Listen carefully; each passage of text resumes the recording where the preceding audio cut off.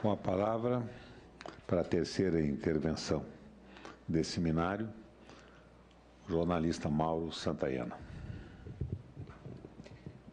Eu quero agradecer ao senador Requião, que me convocou mais pela amizade do que pela qualquer coisa que eu possa é, acrescentar a esse encontro de hoje. Quero agradecer também que e quero é, mostrar a minha satisfação de estar ao lado de dois grandes intelectuais brasileiros.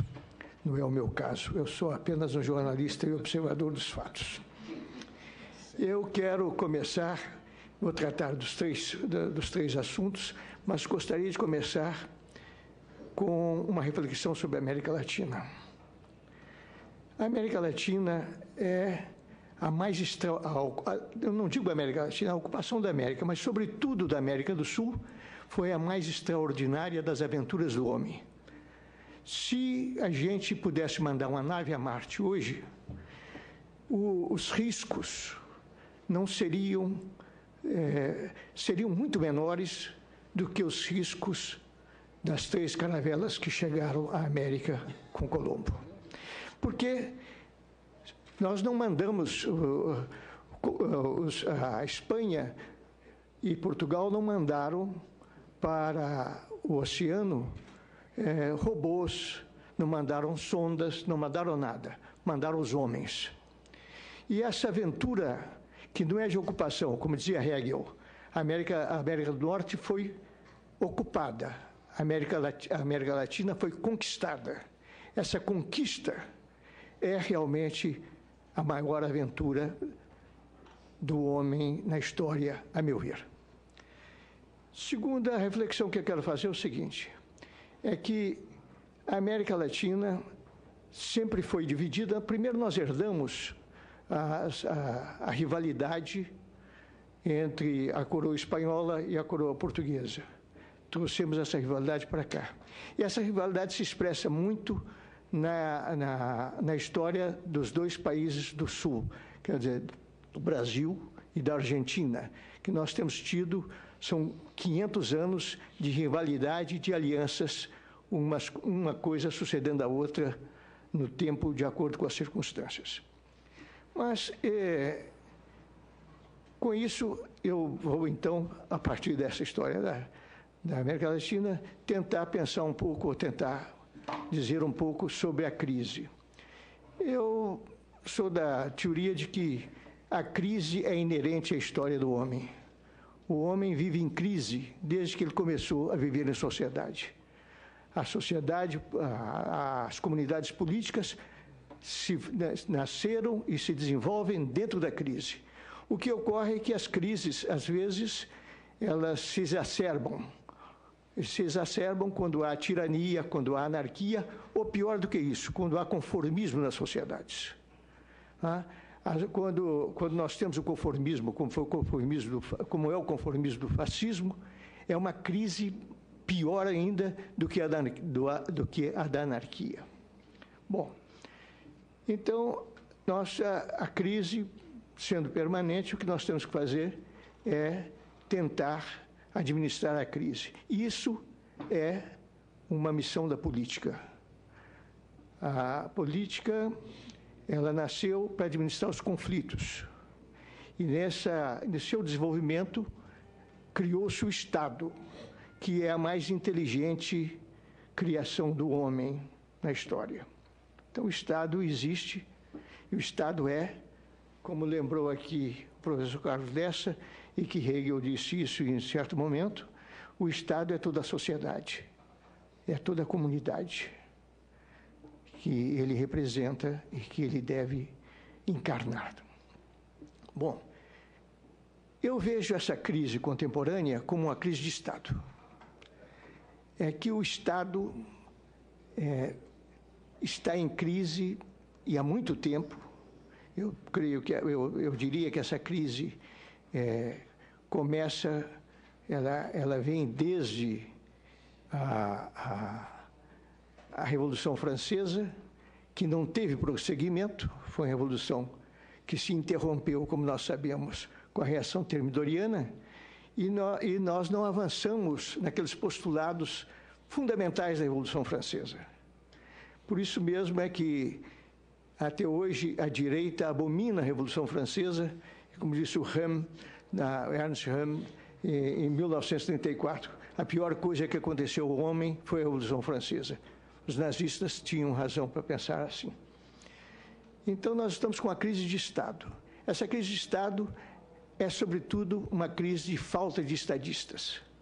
Nunca o mundo esteve tão pobre de homens de, de, homens de Estado que hoje.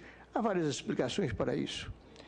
É, dizia o Burkhardt que o, o Estado no Renascimento foi uma obra de arte, porque correspondia ao Zeitgeist do tempo, que era a arte.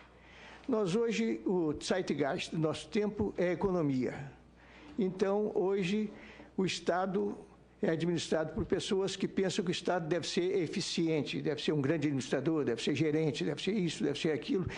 E pior do que isso, é que o Estado deve ajudar a que haja a plena liberdade de iniciativa econômica. Quer dizer, o Estado passou a ser, e numa dimensão muito maior, o gendarme. O gendarme que permite que as, as sociedades mercantis se desenvolvam e que o capitalismo e que o capital financeiro tenha plena liberdade de expansão e de domínio sobre o sistema político. Bom, no caso é, no caso da, da, do, do, do, Estado com esta situação, nós chegamos à situação da América Latina e os Estados da América Latina.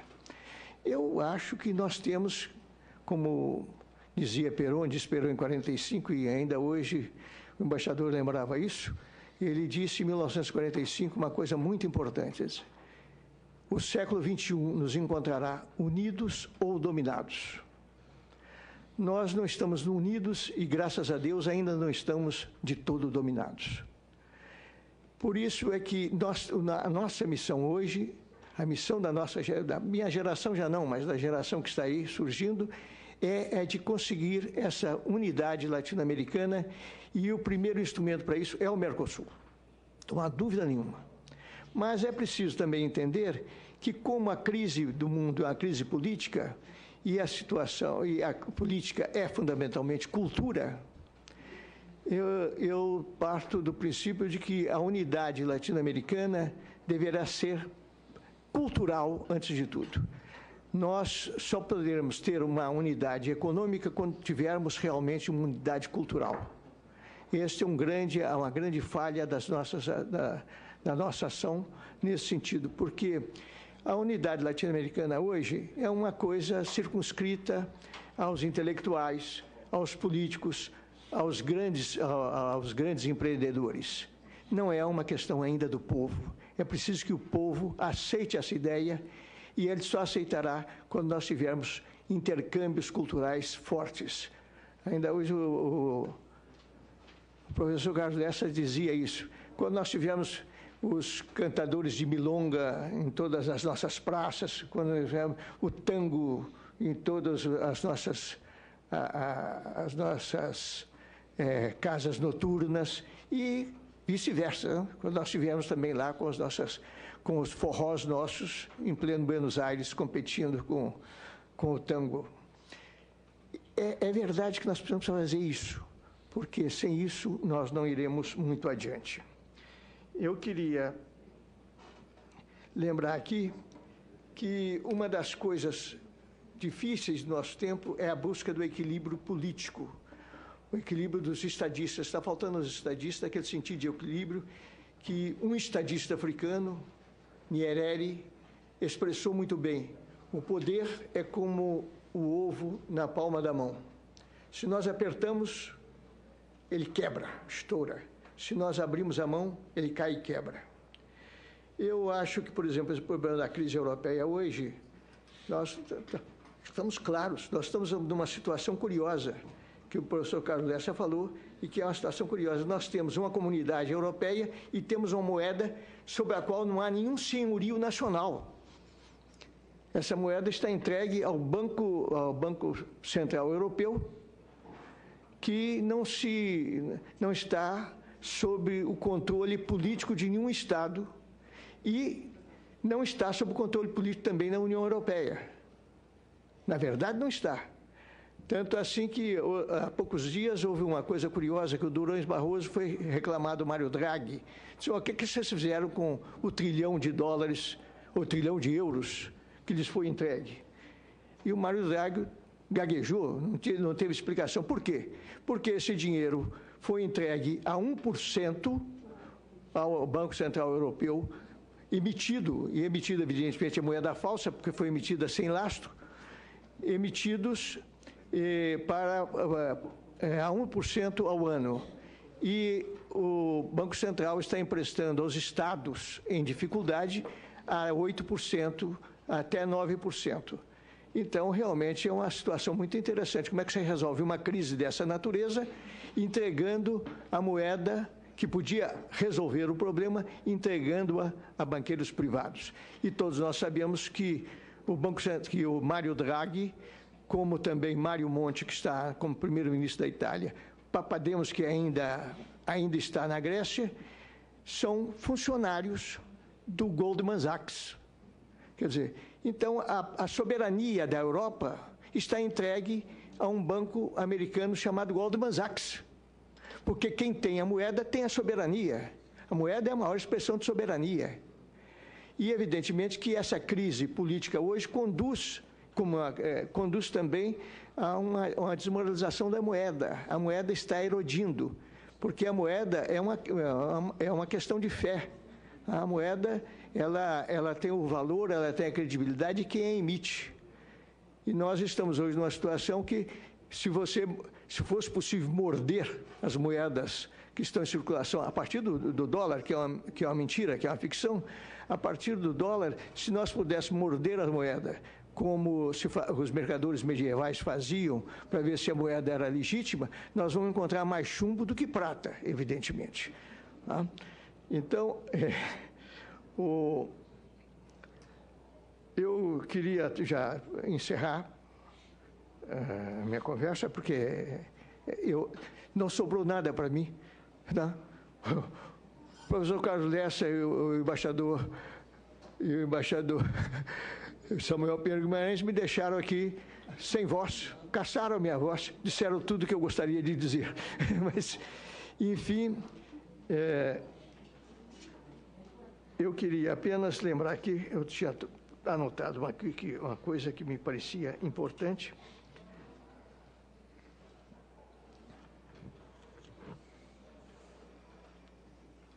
É, é o problema da nossa unidade.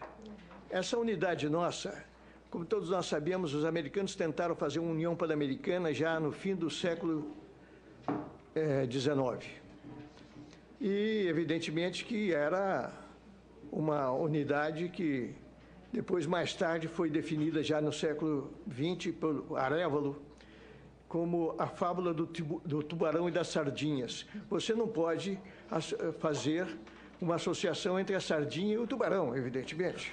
Tá? Então, nós temos que pensar isso e, e, e, saber o seguinte, que nós temos que pensar numa unidade latina, não, primeiramente sul-americana. Sul-americana. Porque aquilo que dizia o Brodel e é certo, a história é, antes de tudo, geografia. Nós temos que atender a nossa geografia, a nossa continuidade aqui. E então, essa unidade sul-americana tem que se fazer esquecendo-se que há uma OEA, esquecendo-se que houve uma União Pan-Americana. Nós temos que esquecer disso. Isso já não existe mais, é coisa passada e vamos tratar de fazer a nossa unidade aqui. E que com aquela consciência que não, nos, não, não pode nos faltar nunca, que primeiro aquela do, do, da advertência do Peron, temos que nos unir aqui na América Latina. E para nos unir na América Latina, nós temos o Brasil tem a obrigação de ser o país mais tolerante, o país mais condescendente, o país até mesmo que aceite mais desaforos. É, que está acontecendo. O que está acontecendo. Tem que aceitar esses desaforos. Porque nós somos, nós sabemos o seguinte, poderoso é aquele sujeito que tem o direito de parecer fraco. O fraco não tem esse direito.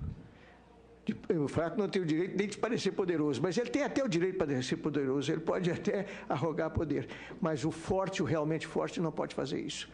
E esse é um grande erro dos Estados Unidos, porque foi um país forte que sempre se arrogou o direito de ser o mais forte e de, de, impor a sua política ao mundo. Nós não podemos fazer isso nunca. Nós temos que ser o que nós somos, não deixar de ser isso.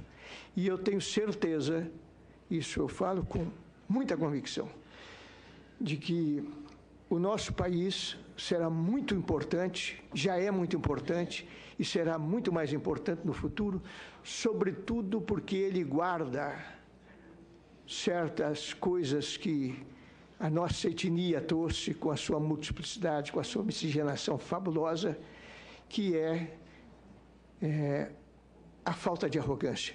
É certo que, desculpem, em nosso país nós temos um Estado que ainda pensa que, que, que tem hegemonia sobre, sobre o nosso país, mas nós não podemos ter a, a, essa visão paulista do universo. Nós temos que ter provavelmente, até desculpe que eu puxe a, a brasa para minha sardinha, mas uma visão mineira da, do processo, quer dizer, uma visão mais modesta do processo.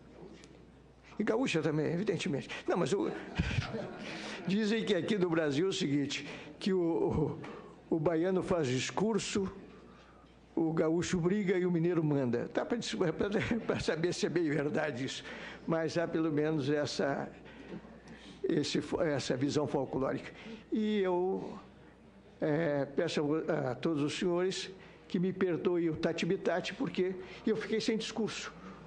Muito obrigado. Thank you. Thank you.